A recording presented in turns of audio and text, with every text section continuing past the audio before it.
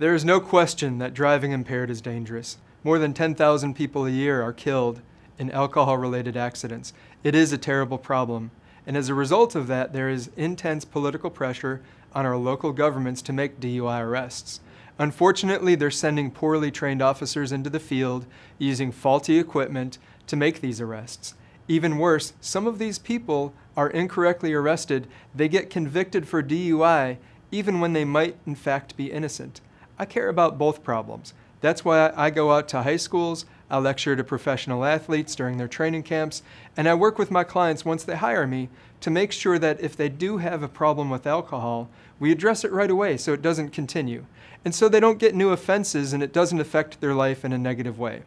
I've worked very hard since 1996 to be the kind of lawyer that can challenge the state's case when somebody is arrested for DUI to make sure the state's evidence measures up to proof beyond a reasonable doubt before we call somebody a criminal.